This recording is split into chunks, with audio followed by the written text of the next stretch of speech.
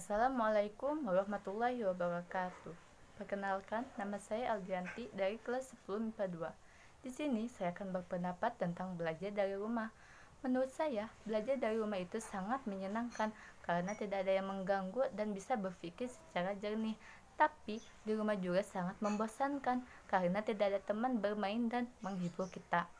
Kalau gak ada guru yang mengirim tugas, rasanya sangat bosan karena kita sudah terbiasa mengerjakan tugas secara online. Kadang kita juga suka bingung, kenapa guru itu belum mengirim tugas, sedangkan kita sudah menunggunya.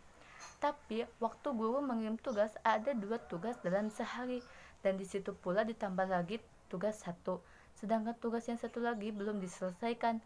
Sebagai murid, kita juga tidak bisa mengerjakan tiga tugas dalam sehari. Ada saatnya untuk beristirahat.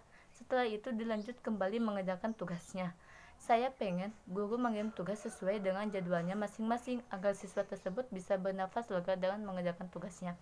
Demikian yang dapat saya sampaikan. Mohon maaf apabila ada kesalahan. Terima kasih atas perhatiannya. Wabillahi taufiq wal hidayah. Wassalamualaikum warahmatullahi wabarakatuh.